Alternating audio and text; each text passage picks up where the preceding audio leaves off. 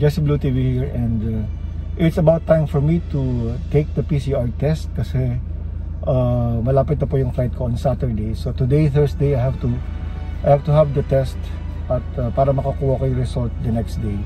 And guys, uh, so please pray for me. Sana mag-negative para tuloy po ang aking flight on Saturday. Otherwise, uh, mapupuspon po ang flight ko at may extend ang bakasyon ko.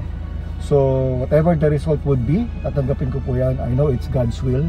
It's going to be God's will. So, ayun guys, uh, in-update ko lang po kayo. Ako po ngayon ay paalis na, papunta ng SM East Ortigas dahil merong uh, swab testing doon guys. So, na-accredited naman ng DOH.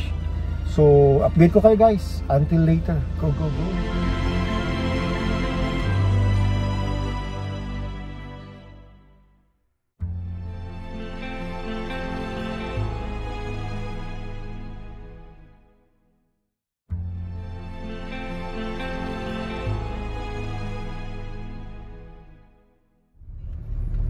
So ito na nga guys, on the way na ako sa sa PCR test center.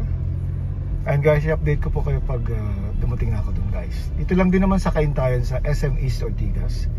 So go go go guys. Update ko kayo mga kablu at uh, sa lahat ng mga audiences ko. Thank you so much.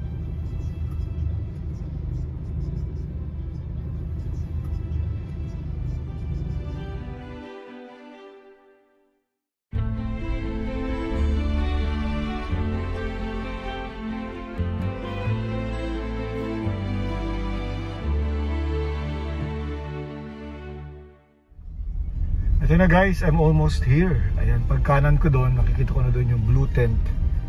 Uh, yung PCR testing center. Ayan guys, so wish me luck and pray for me guys. Go, go, go.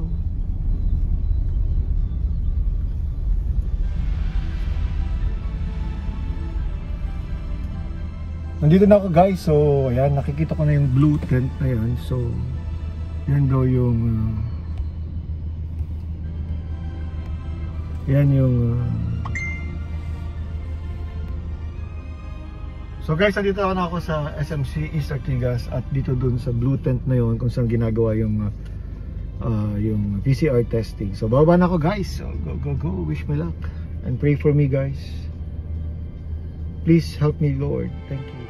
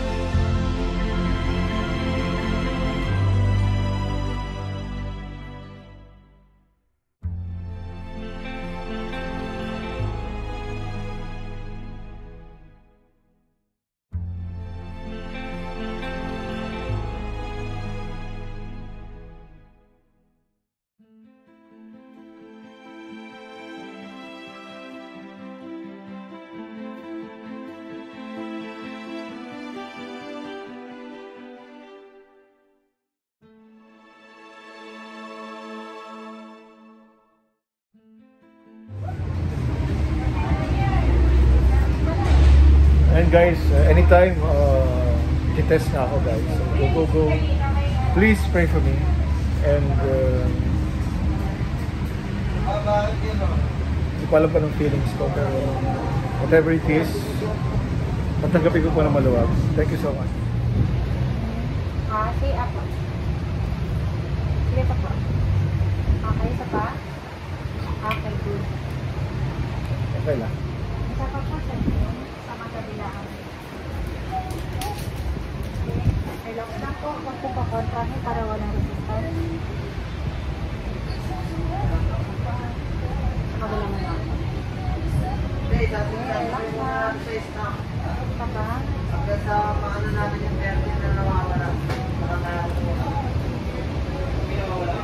Okay, Luis. Okay na po. Hi, thank you so much. Grabe guys, uh, tapos na guys, medyo masakit. Mas masakit yung sa ilong kaysa dun sa sa lamunan, no, sa ilalim ng dila. So guys, go go go. Uh, pauwi na rin ako. So magiging nila ko ng result uh, by tomorrow po. So thank you so much. Uh, ayan. Bye-bye po. And uh, again, please pray for me.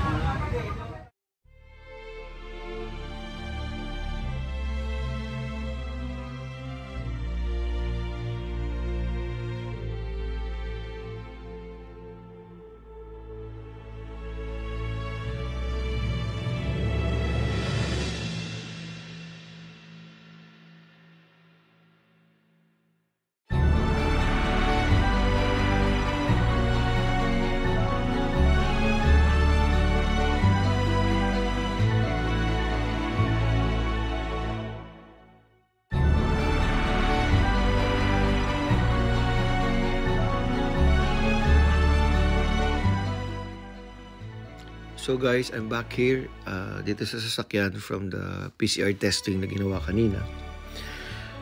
Hindi ko pa ma-start ang sasakyan guys dahil punong-puno ako ng kaisipan, ng thoughts no, in mind. What if ganito? What if ganyan? Because I was actually suspecting magpa-positive yung result na yan. Na-expect ko na bukas or after 10 hours makaka-receive na ako ng email na positive ang result if that would be the case, then okay sa akin. Because I wanna be with my family. Gusto ko sanang ma-extend.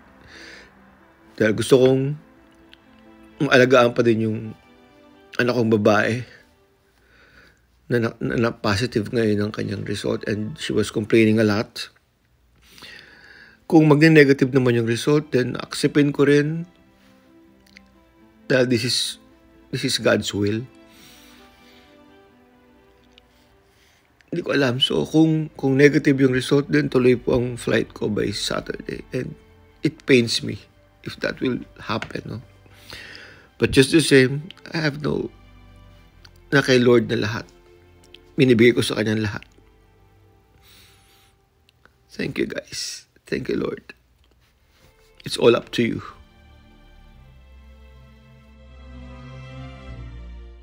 So guys, ito na nga, wala pang 24 hours, daling araw pa lang na-receive ko na yung email.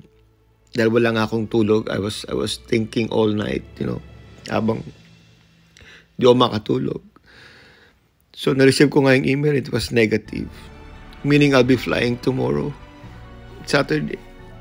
Ang sakit guys, kasi aalis at iiwan ko yung daughter ko na may sakit. Masakit. It's all up to God. Thank you.